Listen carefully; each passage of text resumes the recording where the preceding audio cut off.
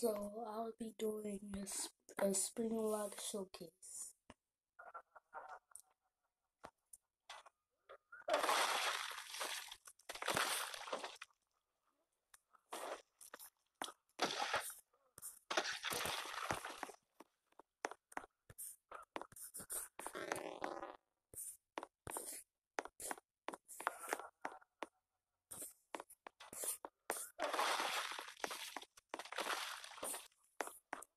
save.